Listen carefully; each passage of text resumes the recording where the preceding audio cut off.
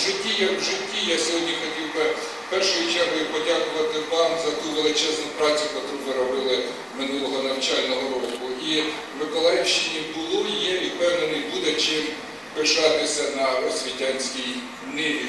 Окремо вам подяка за тих 158 виданих на Миколаївщині е, свідоцтв атестатів дітям із Донецької Луганської областей, дітям з.